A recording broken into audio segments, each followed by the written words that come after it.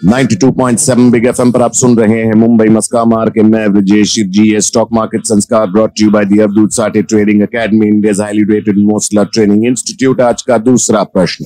Good morning अवधूत sir मेरा नाम संजय है और मेरा क्वेश्चन है कि how does interest rate changes by the reserve bank of India RBI impact the stock market good morning Sanjay. देखो इकोनॉमी और ओवरऑल मार्केट्स मार्केट्स डिपेंड करते हैं ओवरऑल इकोनॉमी पे। और इकोनॉमी इन्फ्लुएंसिंग फैक्टर्स में इंटरेस्ट रेट एक बहुत, बहुत बड़ा फैक्टर होता है। अब इंटरेस्ट रेट बढ़ने से अगर इन्फ्लेशन बढ़ रहा है तो इंटरेस्ट रेट बढ़ाने पड़ते हैं आरबीआई को। क्यों? क्योंकि लिक्विडिटी कंट्रोल करके इन्फ्लेशन को कंट्रोल करना होता है। और अगर इन्फ्लेशन है राइजिंग इन्फ्लेशन है तो डेफिनेटली इकोनॉमी पे बुरा असर होता है। तो अगर आरबीआई इंटरेस्ट रेट बढ़ा रही है उसका मतलब आरबीआई इन्फ्लेशनरी प्रेशर का सामना कर रही है।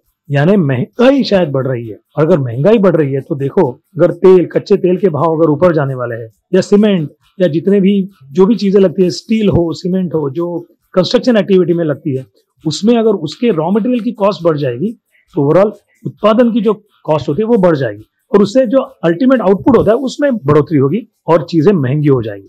तो अलग अलग इन्फ्लेशन डेटा होते हैं। जैसे कंज्यूमर प्राइस इंडेक्स होता है। यानी कंज्यूमर जो कंज्यूम करते हैं, वो वो जो चीज़ें होती है, उसमें अगर महँगाई बढ़ रही है तो कंज्यूमर के पास कम पैसा रहेगा और उनको बाकी निवेश करने के लिए कम पैसा बचेगा।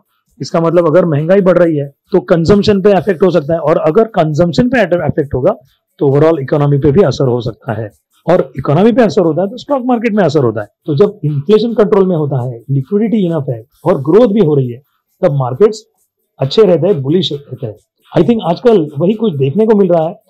Although interest rates are little on the higher side but there is growth and this growth is properly being manage and hence markets are rising and particular certain sectors are going up I hope you got the answer dear